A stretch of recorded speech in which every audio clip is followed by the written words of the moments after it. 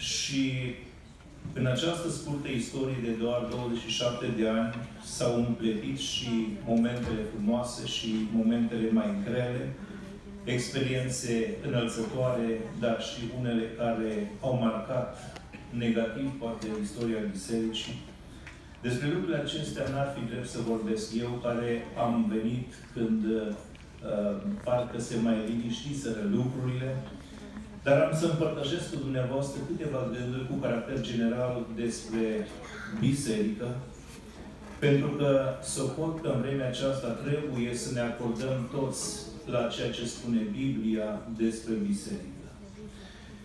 Patru lucruri aș vrea să spun cu precădere despre biserică în general, nu doar despre biserica din uh, Montreal.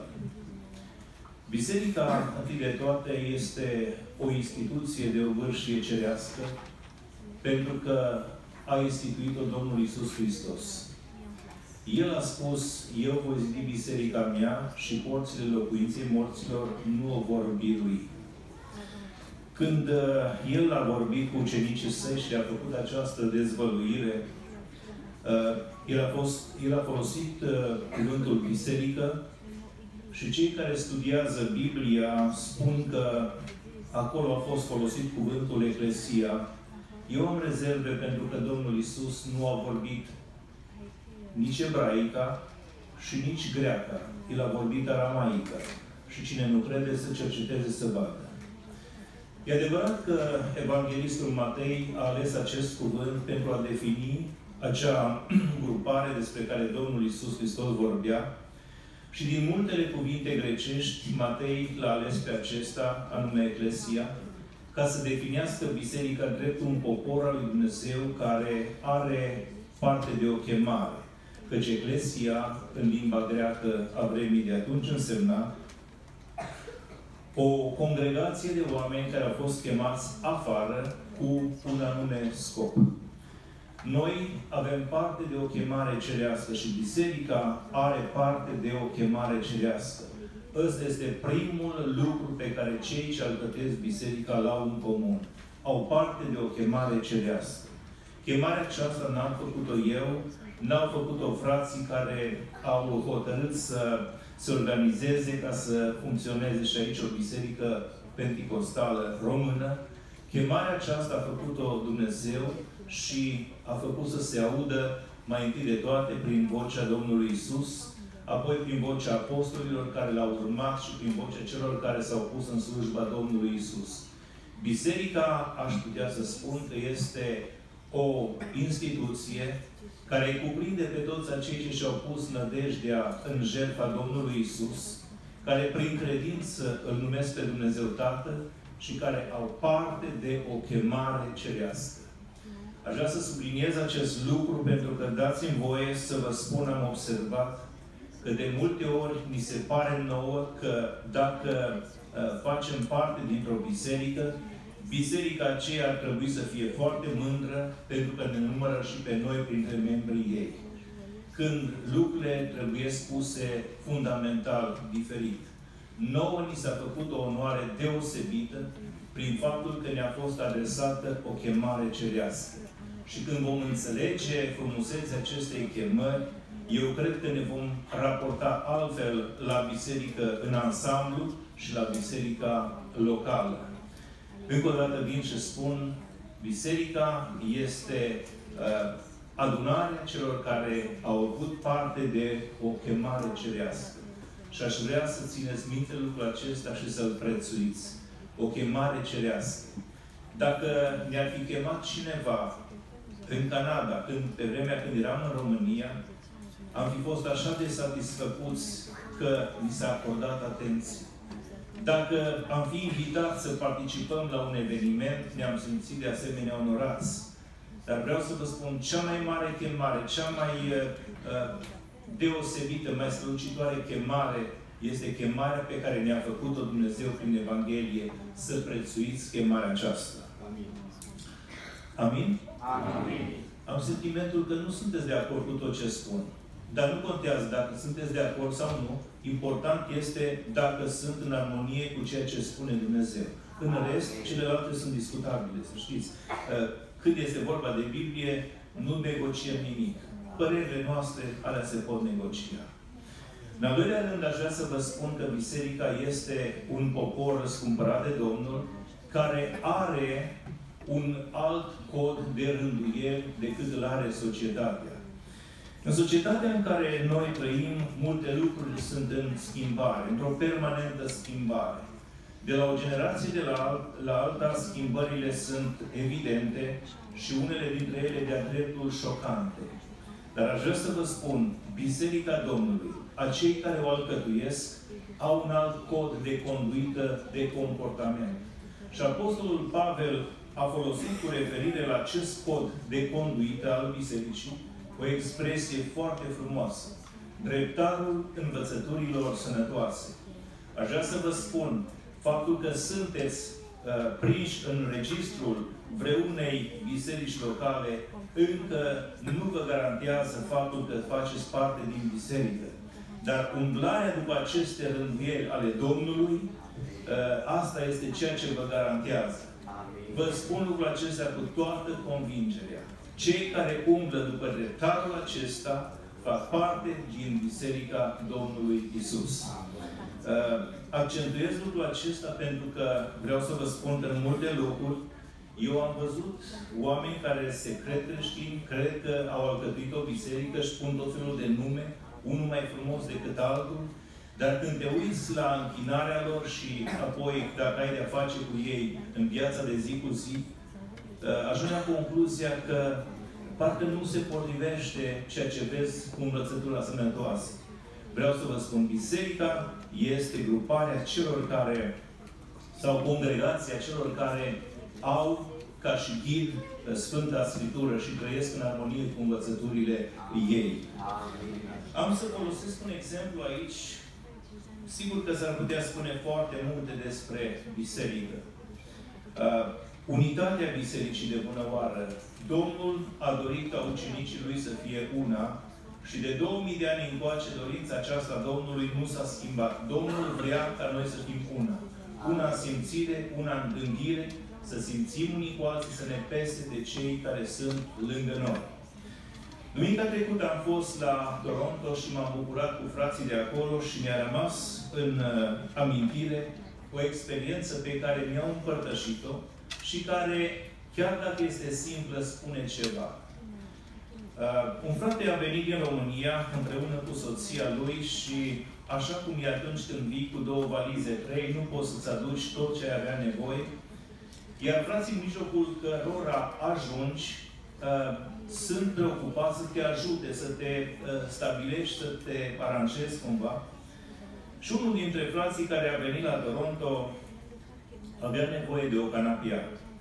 S-a întâmplat că o doamnă care nu are nimic în comun cu biserica, o doamnă canadiană, avea de oferit o canapia în condiții foarte bune.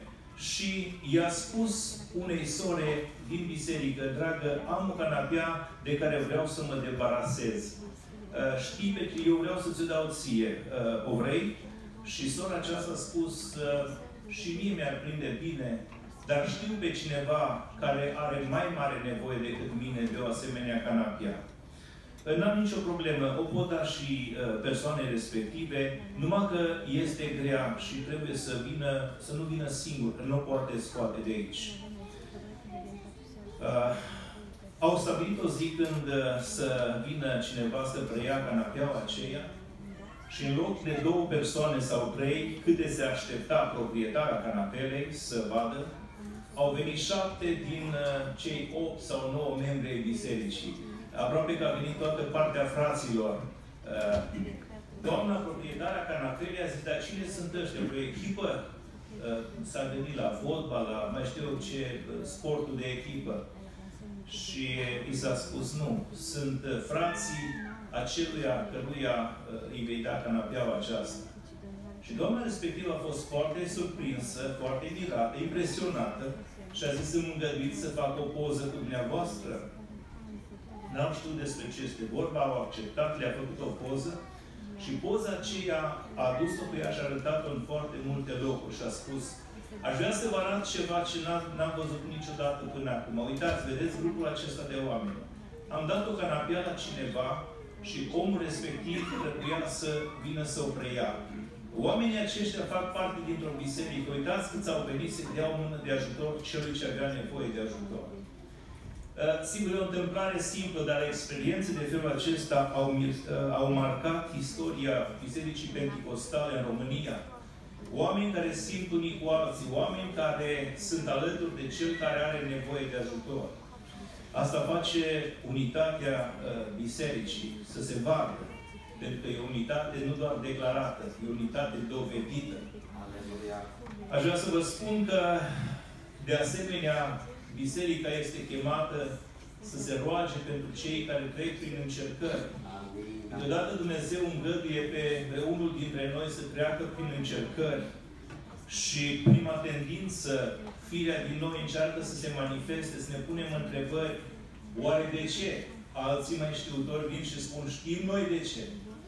Dar cred că asemenea experiențe sunt împrejurări în care Dumnezeu ar vrea să dovedim că ne pasă și să ne rugăm pentru cei care trec prin încercări. Să plângem cu cei ce plâng și să ne bucurăm împreună cu cei ce se bucură. Când este cineva în suferință, să plângi pe umărul lui sau să oferi umărul tău să poată plânge pentru el. Să-i spui un cuvânt de mânghiere, să-i dovedești că-ți pasă, să-l cauți la telefon, să-l vizitezi, iar dacă vezi că Dumnezeu i-a dat o binecuvântare, să te bucuri din toată inima pentru binecuvântarea aceea, asta înseamnă viață după rânduiala aceasta, după dreptarul învățătorilor sănătoase. Și un ultim gând pe care vreau să-l împărtășesc cu dumneavoastră este faptul că Biserica ce mai are în comun este nădejdea. Cetățenia noastră nu este în cer. Ne-am bucurat când am obținut cetățenia canadiană și am socotit-o ca pe o realizare. Poate că unii ați și pus certificatul în ramă și l-ați pus pe un perete. Uh, cât vă ajută treaba asta, nu, încă nu știu foarte precis. Vreau să vă spun că cea mai frumoasă, cea mai nobilă, cea mai înălțătoare, cea mai devălit cetățenie este cetățenia aceea despre care vorbea Apostolul Pavel. Cetățenia noastră este din cerul de unde îl așteptăm pe Domnul Isus Hristos să vină, binecuvântat să fie numele Lui. Și dacă vreți, asta definește așteptarea Bisericii. Căci biserica reală, biserica adevărată este alcătuită din oameni care își îndreaptă în fiecare zi inima și cugetul spre cer. Și zic, vino Doamne Iisuse. În cartea Apocalipsei stă scris, Duhul și Mireasa zic, vino Doamne Iisuse. Și noi suntem chemați să zicem și noi așa. E adevărat că lumea a creat un sistem care ne fugărește cumplit. Dar noi n-ar trebui să uităm, să pierdem din vedere oricât de multă treabă am avea. Ne trezim dimineața de vreme și ne culcăm seara târziu. Uh, Dumnezeu ne păzește de-a lungul zilei, dar trebuie să ne facem timp să ne gândim la Domnul. Să ne facem timp să ne rugăm, să spunem, vină Doamne Iisuse și pe lângă această cele să spunem, ajută-ne să ne pregătim. Pentru că dacă El vine și noi nu suntem pregătiți, noi rămânem jos. Ne vom întâlni în localuri, uh, poate mai aerisite, că unii vor pleca, iar alții vor rămâne jos. Dorința bisericii adevărate este să plece atunci când vine Domnul. Aș vrea, dragii mei, să mă opresc la aceste cuvinte și aș vrea să vă chem să încheiem părtășiri din dimineața aceasta cu o rugăciune de mulțumire. Să-i mulțumim Domnului Isus că a purtat de grijă pentru ca pe aceste meleaguri să, să existe, să ia ființă, să funcționeze o biserică. Un grup de oameni care îl iubesc pe Domnul, care se închină înaintea Domnului și care așteaptă pe Domnul. Vreau să vă spun că oricât de bine ar fi mers economia în această parte a Canadei, oricât de uh, primitoare ar fi fost condițiile, aș vrea să vă spun, cel mai important lucru este că aici uh, Domnul a rânduit să fie o biserică. În ce mă privește, dacă aș fi găsit în locul acesta cele mai bune condiții, chiar și o climă uh, mai blândă, pe lângă uh, condițiile astea sociale și economice bune, dacă n-ar fi existat un grup de frați credincioși împreună cu care să mă întâlnesc, să mă închin înaintea Domnului, n-aș fi stat multe meleagurile acestea. Probabil că știți că iarna canadiană nu mi-a plăcut niciodată.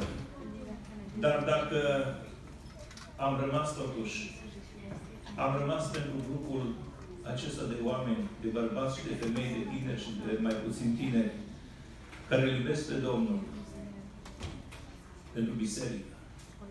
Oricât ar fi fost locurile de frumoase, dacă n-ar fi fost o biserică aici, n-aș fi stat prea mult aici. Să mulțumim Domnului pentru harul acesta. În această rugăciune să rugăm pe Domnul să ne ajute să păstrăm rânduielile așa cum îi place Lui. Auzi pe câte unul că zice, biserica aceasta, sigur că nu e vorba de neapărat de noi, dar zice, biserica aceasta sau biserica aceea nu mă reprezintă. Uh, i-aș recomanda celui ce vorbește în felul acesta să se mai smerească. Pentru că nu el este etalonul. Etalonul este ăsta. Etalonul este ăsta. Și noi trebuie să ne aliniem la etalonul, nu etalonul la noi. Care dintre dumneavoastră ați modificat uh, levelul de acasă că nu vă place cum arată? L-ați pus la genunchi să-l îndoiți un pic să arate cum vă place? Nu. L-ați luat pentru că este bine conceput și arată drept. Și Scriptura ne arată drept, să știți.